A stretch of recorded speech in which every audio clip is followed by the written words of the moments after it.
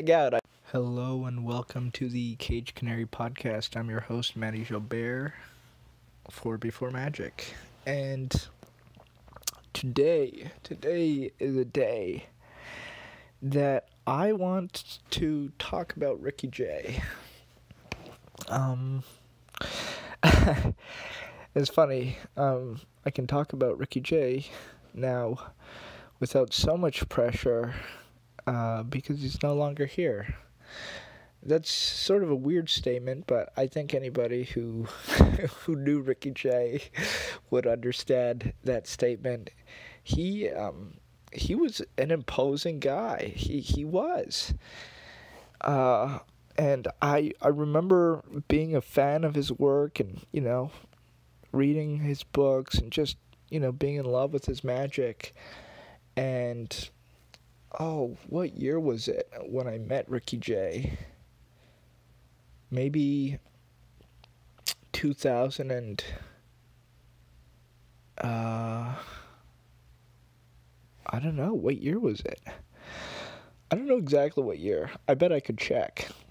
Um, but I do remember that he came to the Conjuring Arts Research Center where I was at the time, and he he was meeting uh, with with Bill Kalush there, and I remember when he came in, I was just came in after hours. Everybody sort of had gone home except for me and uh, and Bill and when he came in, I wasn't doing anything, but I think I just pretended like I was working. I was just, uh, you know, I had a book open, or I don't know what I was doing. I was just keeping my head down, and uh, and then um, and then Bill introduced me to Ricky Jay. I said hello. I was very shy, very nervous, as you can imagine, being in front of Ricky Jay. And um, we we went to we went to dinner after after they had chatted a bit. We went to dinner. I remember that, and uh, we had a dinner and we were we were talking and I was sort of getting to know Ricky Jay. It was so it was so you know I don't even remember much from that conversation. I remember we talked about Matthew Matthew Buchinger. I know that much. And uh, I know that I did some card stuff for for uh, Ricky Jay was working on a bottom deal, and I remember that I, I was showing him it, and he wanted to get a better look, so he stood up and he was sort of like looking at it from different angles, and um, and then I I don't know exactly what his health condition was, but I remember him, you know, not feeling well after standing up and and we were joking that my, my one of my friends was teasing me that you know Ricky Jay almost died when he saw my bottom deal. uh, so that that was a that was a funny thing. I mean, not funny, but you know, it's still sort of funny. After that, I kept in touch with with Ricky Jay um, through correspondence. We emailed each other back and forth uh, you know, but uh, you know, I was still super nervous. Like, how do you email Ricky Jay? He really is an imposing guy. I mean, that that's to me at least. He he was. I, I mean, he's just so good at what he does. He's so smart. Like, you really, I I don't know. I was just extremely sensitive to every word that was coming out of my mouth and everything that I was doing at any time. Um, fast forward, you know, we, we were corresponding about Matthew Buchinger, and um, I got hired for the first time to perform at the Magic Castle. I think this was in, I, I want to say 2015. I, I think it was 2015. Might have been could have been later, 2016, but I think it was 2015. Anyways, I go there and, you know, I'm just seeing some friends. It's my first time working there, working the close up room. And um, I didn't, you know, I didn't want to tell anyone. It's my first time. I'm nervous. I want to, you know, I just want to get through the week. and um, one of my friends told Ricky Jay that I was in town. I, I never told Ricky Jay that I was in town. I never told him I was in LA.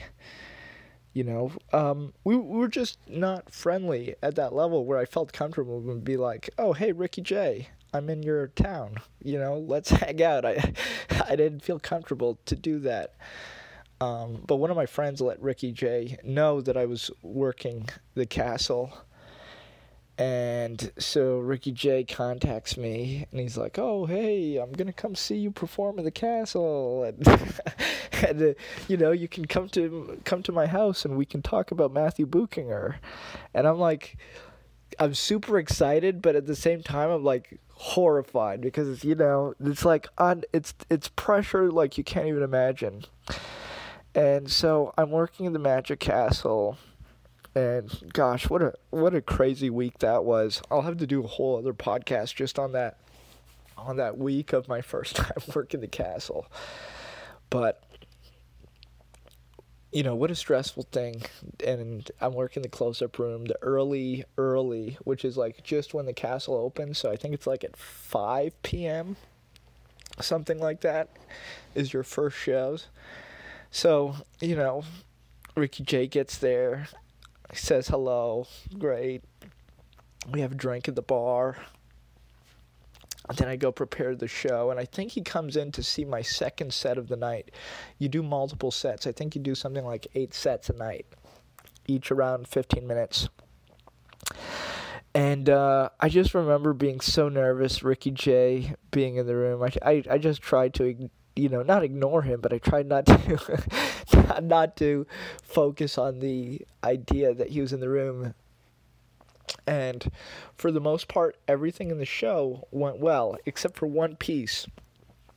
And it's I I do uh, I, I I was performing Hofzinser's The Sympathetic Numbers uh, in the style of Hofzinser, the way that I learned it from uh, the book, and there's a part in the routine where you know a spectator you know different spectators choose things and it turns out to be a coincidence and you know there's a magical effect.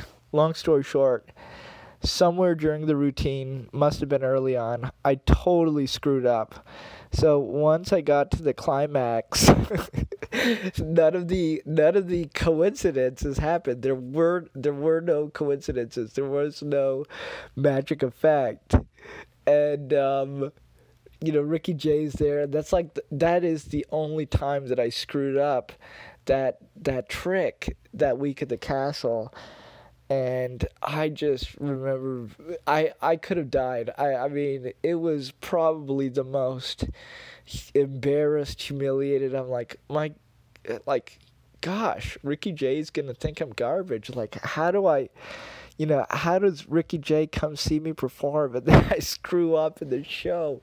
What a disaster, you know. Um but you know what? I mean, whatever. That's that that is what happened. That's the truth. I don't know if it was because I was nervous. I mean, I screwed up somewhere during the routine. I, I am embarrassed about it. I am. It's you know, it's not supposed to happen. You're supposed to practice and do magic properly. You're not supposed to screw up in front of Ricky Jay, the Magic Castle. No. Oh. Oh man. What what a what a day that was. Anyways, after that, you know, talked to Ricky Jay some more, and I was supposed to see him the next day at his house. And, uh, anyways, fast forward to the next day, I go to his house, and, you know, it's a, it's an amazing house. He gives me a little tour, and he has just magic everywhere posters and pamphlets and little you know, playbills and things. I, I, I, uh, you know, I couldn't even absorb all of it. But I remember because he was working on the the Buchinger book at that time. That over the kitchen, like on the kitchen wall, he had this like little display, and he had every single piece of uh, Buchinger artwork that was that he owned. Uh, that later, you know, went on display at the Met for the art ex- art exhibit um, called Wordplay. Anyways, he had that all in his in his dining room, you know, over the dining room table.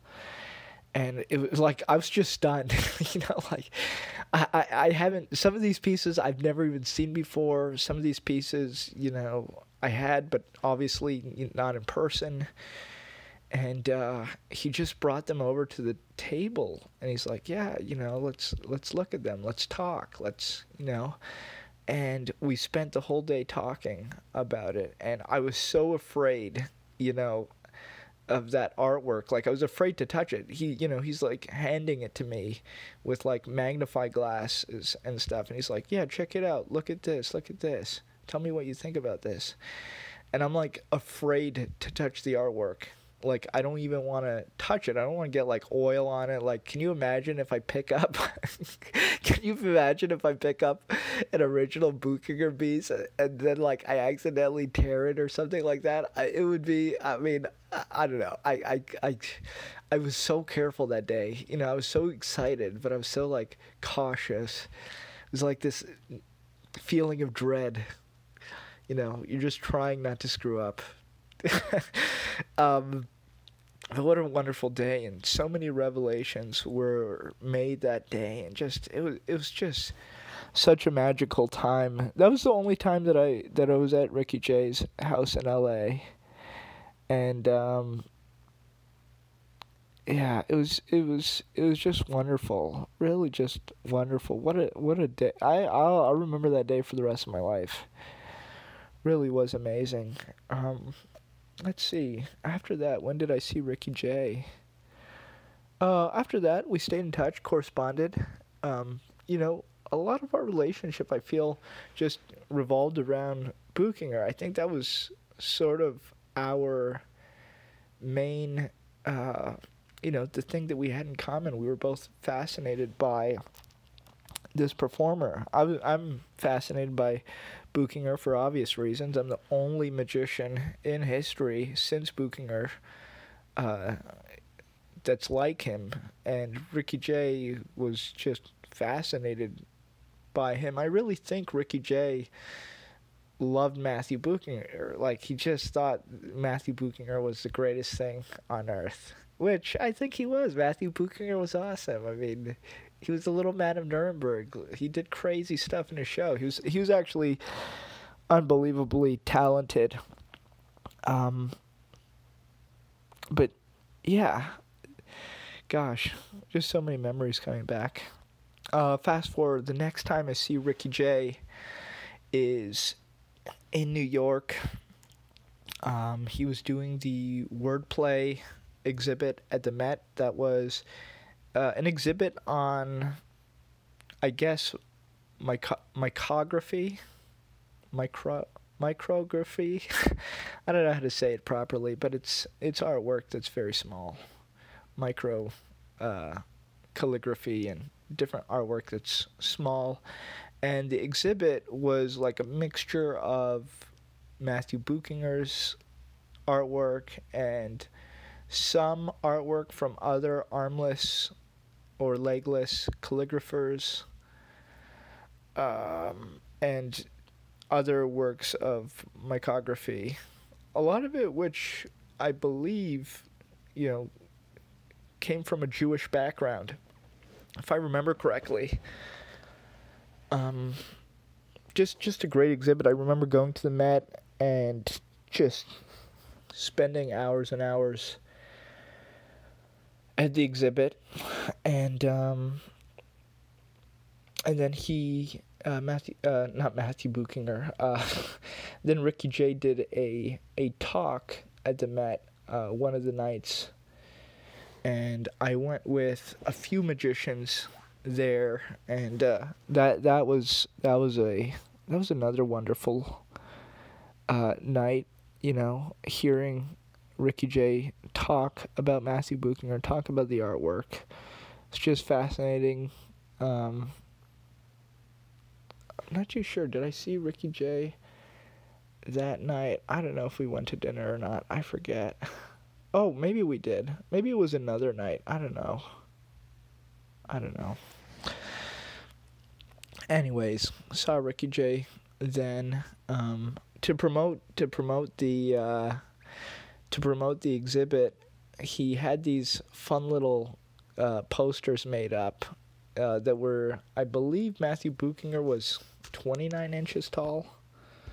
I'll have to check that. Uh, Matthew Buchinger. Matthew Buchinger. Buchinger. 29 inches. Yes. So Matthew Buchinger was 29 inches tall. I was correct. So so what Ricky Jay did was he he got a a famous uh, a famous illustration uh, that Matthew Buchinger made of himself, like a self portrait, and he had that like photoshopped on a poster.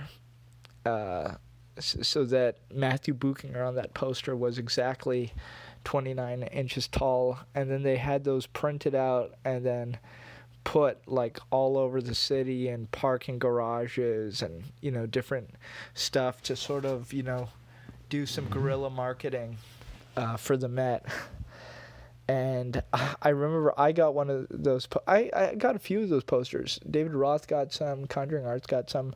I don't have my poster. I think it's still at Conjuring Arts. Um, but those posters are extremely rare. Nobody even knows about them. I don't think there's a single photo of them online. Those are extremely rare posters.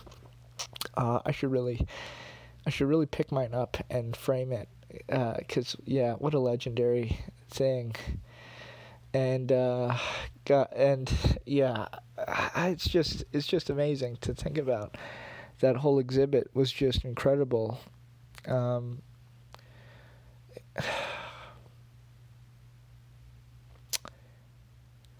then let's see after that.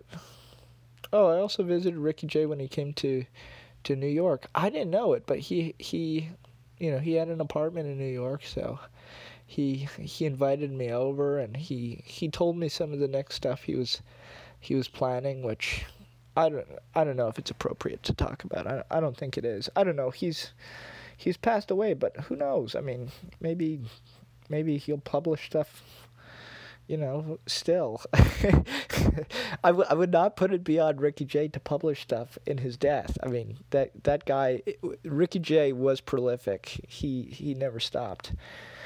Um, and may, he might never stop, to be honest, even though he's no longer with us.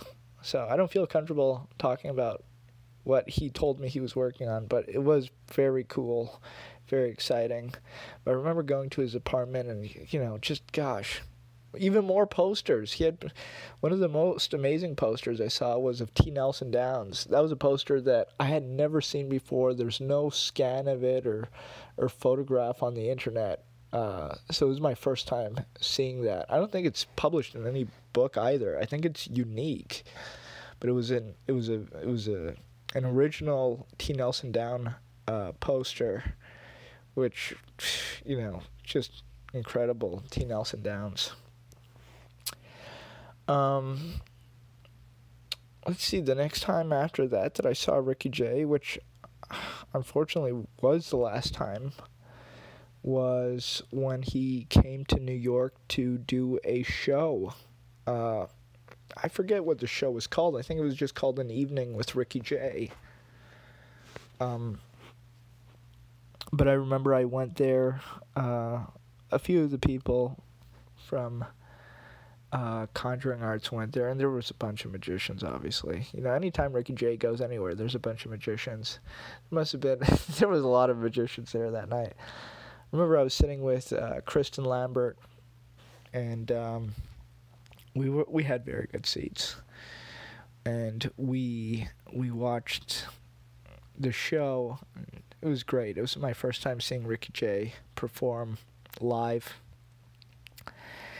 And uh, that that was a really wonderful night. Really, it was. It was just, it was just so much fun. You know, it's like, even though I had seen Ricky Jay do all the tricks before on video. Like, it's like when you go see a band and you already know all the songs, you love their songs, but it's like you want, you know, you want to hear them play it for you. You know, you want to hear them play it for you live. That's what it was like seeing Ricky Jay uh, perform that night. At least that's that's how I felt. Like there was just so many classic things that he performed, and I was like, oh, this is you know, just great to see him in person live doing his thing.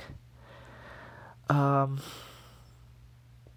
and then um, and then after that, you know, I stayed in touch with Ricky Jay uh, through email, and um, and then a few weeks ago, you know, I got the news. I think we all got the news that Ricky Jay had passed away, and um, yeah, I was just very, very shocked by it. I think it's still, um, I think it's still sinking in. At first, it really didn't sink in at all. Uh, it didn't. I, I just, you know, I, I couldn't believe it. I, I guess I didn't realize Ricky Jay's age. I just didn't, you know, I just didn't think he was going anywhere anytime soon. I thought Ricky Jay. I don't know. I just I, I just felt like he was going to be around for for uh, for a lot longer. I don't know why, but he he he wasn't. You know, he had his time and he he, he took his final bow, and that was it. Whole lifetime of magic, and Ricky Jay was really, you know, he just came from a different generation, a different class of magicians. He was he was just you know he was wonderful. He he really he was one of a kind. Just his personality, the the the way he talked, the way he performed, the things that he performs, just his knowledge, just his skill, everything. He he really he just really did a lot of great things for magic, for many other fields. The the man really was prolific. Um, it's sort of sort of weird, really weird. You know, I I had always wanted to make a little film about Matthew Buchinger, and I I don't know why. I don't know if Ricky Jay would have ever agreed to it, but I always had imagined Ricky Jay narrating it or, you know, I don't know, being involved in some capacity. Uh, because he, you know, he was so into the character of Matthew Buchinger. I don't know, I just, that's the way I imagined it. And, uh, but I don't, I don't think that'll uh, well, I mean, it can't happen now, but I don't know. It's just like uh, that's why it's hard for it to sink in for me. It's like it's I don't know. Just I believe it. I mean, I believe that Ricky Jay's gone. It's just it's it's hard to accept the world of magic without Ricky Jay. He he just he was he was a special guy. He was a special guy. There will never, uh, it will, there will never be another one like Ricky Jay. Ricky Jay was just totally unique. I mean, no one's even gonna come close. He he was just in his own league. um, you know, I could tell you more stories about Ricky Jay, but I I will say uh, Ricky Jay did have a profound effect on me. I, I would never say that we were friends. I mean, I don't know. I don't. I don't know if Ricky Jay would say I was his friend. I we were certainly friendly. Um, he he was just I don't know, but he was a guy who who really influenced me and um, really touched me. His work is just incredible. His body of work that he left behind is so it's it's it's it's hard to compare to anybody, both in his performing and his scholarly work. I mean, he was just so well rounded. Um, I don't know what else there is to say about Ricky Jay. I mean, anybody, I, there's so many people who knew Ricky Jay so well, uh, like David Ross, who, who worked on him with his shows, who who traveled the world with Ricky Jay. Uh, I really do hope that there is a book written about Ricky Jay. I don't know who could write it, but but maybe Michael Weber. I don't know. I don't think Michael Weber would write a book though on Ricky Jay. I don't know. Someone should. Ricky Jay is sort of just a giant in magic. It's it, it really is hard to believe he's gone. I don't know. I just I I couldn't believe it when I first heard about it and still sinking in.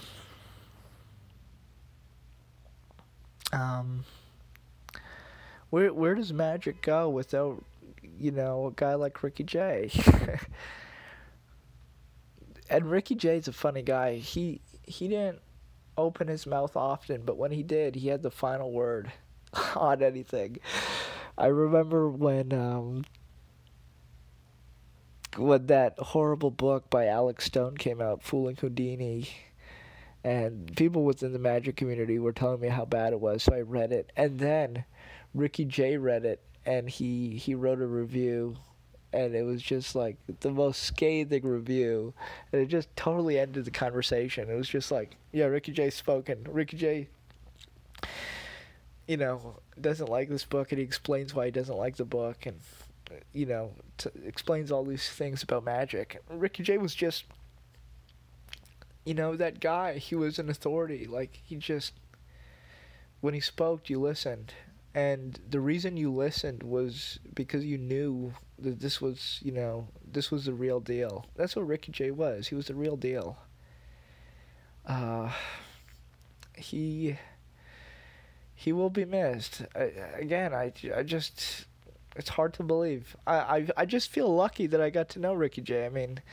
we we had so many years between us it, it's kind of hard to imagine that we ever even connected we we must have had I don't know something close to forty five years between us, maybe around there. Something like that. It's, it's hard to believe that we we connected and I I would have never done it on my own. I would have you know, I never would have done it on my own. So I'm grateful for uh, the people who, you know, put us in touch and just all the small coincidences that lined up uh, to me getting to know him. It really, it really was. It it really is like an honor that I knew Rick Jay. I like even though I didn't know him well. You know, it's still an honor.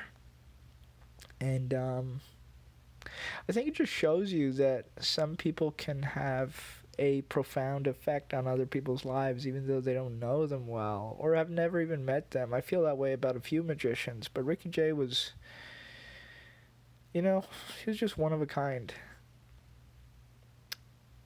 He he will be missed. Um,